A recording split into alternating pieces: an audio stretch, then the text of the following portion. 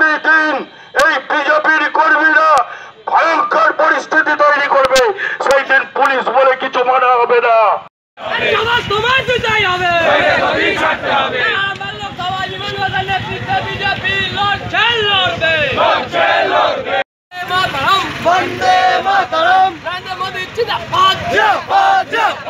ষোলোপুরি রোডে কি কারণে আপনারা অবরোধ করলেন?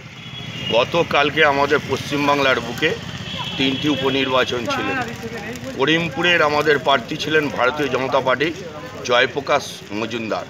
সেই জয়প্রকাশ মজুমদারের ওপরে তৃণমূলের গুন্ডা বাহিনী এবং পুলিশ যৌথভাবে জয়প্রকাশ মজুমদারকে মারধর শুরু করে এবং জঙ্গলের মধ্যে তাকে ফেলে দেয়।